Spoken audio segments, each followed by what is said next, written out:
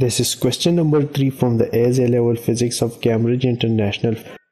This question have two parts. The part first is determine the base units of work done and the moment of force.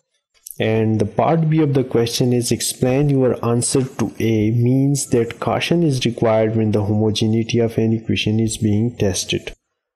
Okay, the part first is uh, determine the base units of work done and the moment of force.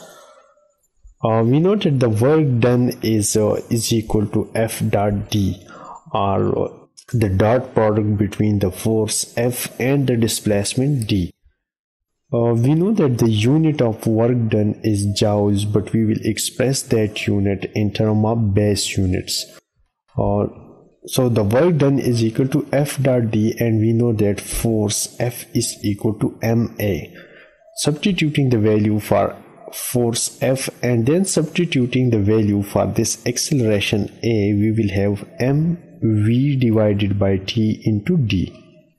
Then we know that the velocity is equal to displacement divided by time. Substituting the value for this velocity we will express this whole term f dot d in the base quantities form then we will substitute the unit for each quantity. So the work done is equal to m d by t divided by t and multiplying this term with this d we will have md square and this t with this t we will have md square divided by t square now this work done is expressed in the base quantities form. We know that the mass is kilogram. The unit of d which is meter displacement which is expressed in meter in SI unit we will have kilogram meter square and time is expressed in seconds.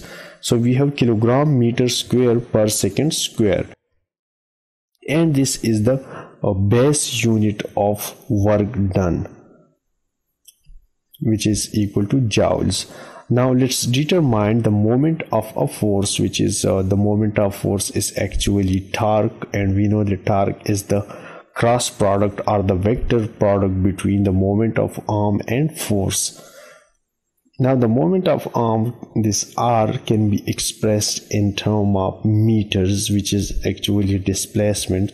So this r is uh, displacement on length we know that force again here is equal to ma and acceleration we know is equal to v divided by t or velocity divided by time. So we have dmv divided by t. In here we know is equal to or displacement divided by time. So the equation becomes dmd by t divided by t and is equal to md square divided by t square. Now substituting the base units for mass displacement and time we will have kilogram meter square per second square. And this unit is exactly the same like uh, this first one which is also kilogram meter square per second square. And similarly the base unit of torque is equal to kilogram meter square per second square.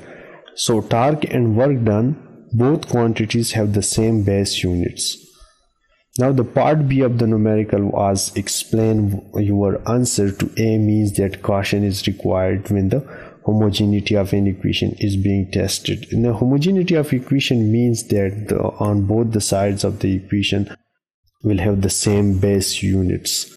Uh, which means that the, an equation is homogeneous when that equation is balanced now we have used two different quantities and both of these quantities have the same base units. Work done and torque these two are completely different physical quantities. The work done can be expressed in joules while this the moment of force is torque. And both of these quantity one is a scalar quantity. Work done which is energy is a scalar quantity but the torque is a vector quantity uh, so you must be caution when you are checking uh, the homogeneity of an equation. They might have the same base units but they are completely different quantities. One is a scalar quantity and the other one is uh, a vector quantity. So for checking the homogeneity of an equation uh, you must be cautioned. That's it. Thank you for watching and don't forget to subscribe. easyedu for more videos. Thank you